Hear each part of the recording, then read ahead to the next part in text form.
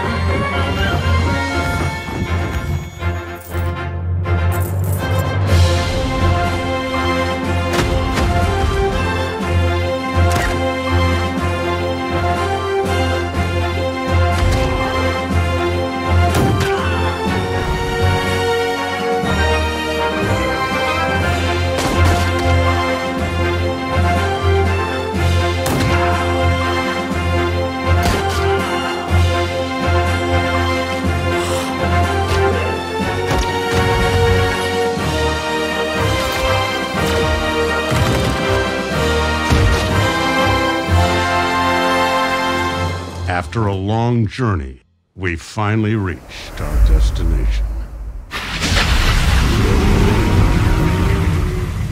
But that was only just the beginning.